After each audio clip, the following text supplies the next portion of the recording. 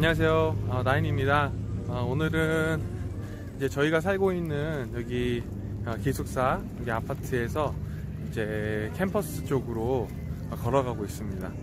오늘 이제 저녁 7시인데도 지금 해가 길어져서 여기 달라스는 아직도 어, 한창 대낮인 것 같습니다. 이제 쭉 이 길을 따라서 걸어가다 보면은 이제 캠퍼스로 갈 수 있는 어, 지하 작은 지하 터널이 나오는데요. 네, 그쪽으로 해서 한번 캠퍼스로 산책하러 가보도록 하겠습니다. 자, 이제 여기 앞에 보이시는 어, 것이 이제 작은 짧은 지하 터널이고요. 이 길을 통해서 저기 앞에 보이는 저희 학교 정문 쪽으로 어, 걸어가게 됩니다. 자, 여기 이제 횡단보도도 앞에 있는데 이 아래 이 지하 터널로 가면은 어, 좀 더 제 생각에는 안전하게 갈 수 있는 것 같습니다. 네, 이 아래 지하를 쭉 통해서 어, 캠퍼스 정문으로 가보도록 하겠습니다.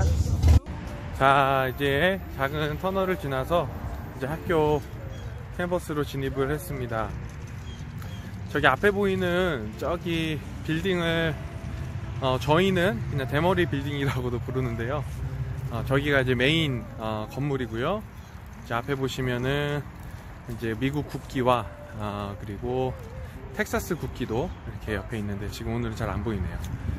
네, 여기 캠퍼스 정문이고 어, 제가 듣기로 미국 seminary 어, 신학교 중에서는 가장 규모가 큰 캠퍼스를 어, 가지고 있다고 들었습니다.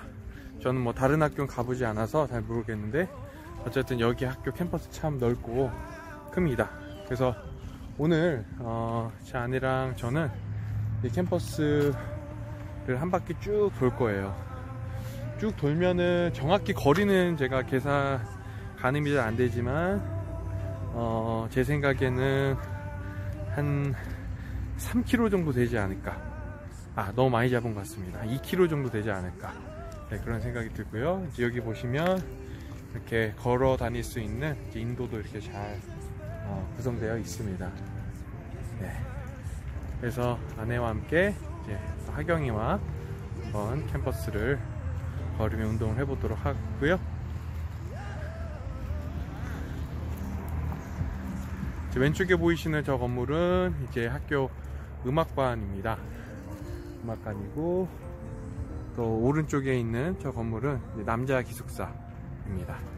네, 캠퍼스가 워낙 커서 하나씩 하나씩 돌아다니면서 다 보여드려야 되는데 네, 영상을 통해서 해서 업로드 하도록 하고요. 그러면 다음에 뵙도록 하겠습니다. 감사합니다.